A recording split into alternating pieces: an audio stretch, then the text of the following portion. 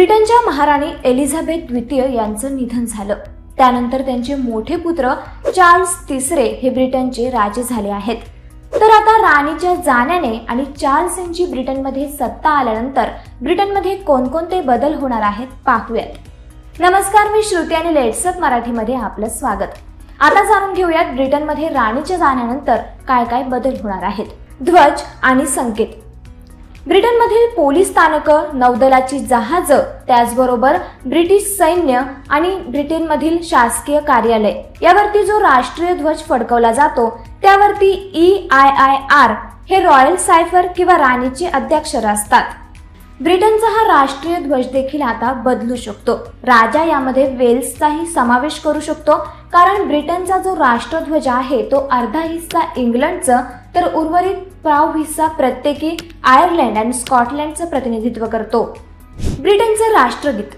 ब्रिटनच्या राष्ट्रगीतामध्ये God save our gracious queen हे शब्द आहेत जे बदलून आता God save our gracious king असे केले जातील.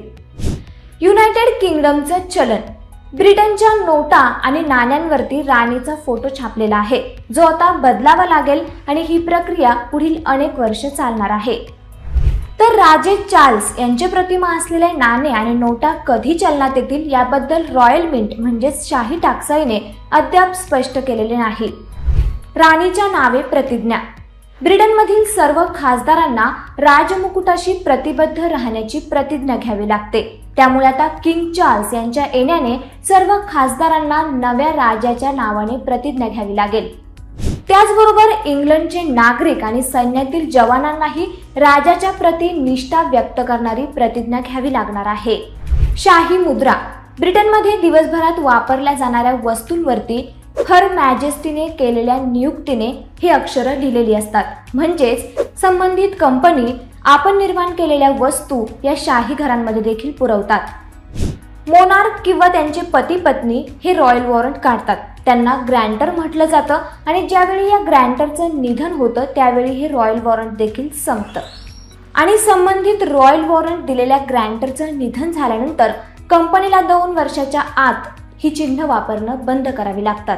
स्टँड आणि post box. Royal Mail post बॉक्सेसवरती E R ही क्वीन एलिझाबेथची अध्यक्षर मात्र कायम राहण्याची शक्यता आहे. पोस्टाच्या तिकिटावरती मात्र राणीऐवजी आता राजाचं छायाचित्र दिसेल. मात्र हे छायाचित्र देखील स्कॉटलंड वगळता इतरत्र इंग्लंडमध्ये दिसणार आहे. तर रॉयल मेलच्या स्टॅम्प्सवर देखील आता हळूहळू राणी एलिझाबेथ द्वितीय यांच्याऐवजी चार्ल्स तिसरे यांच्या प्रतिमा छापण्याची प्रक्रिया सुरू होत आहे. पासपोर्टचं काय होणार? ब्रिटनचे पासपोर्ट हे हर मॅजेस्टीच्या नावे दिले जातात. या पासपोर्टचा वापर देखील ब्रिटनमध्ये सुरूच राहणार आहे. तर आता नव्या पासपोर्टच्या पहिल्या पानावर हिज मॅजेस्टीने ही अध्यक्षरं असतील. त्याचबरोबर इंग्लंड आणि वेल्समधील पोलिसांच्या हेल्मेटवरील महाराणीची प्रतिमा बदलली जाईल.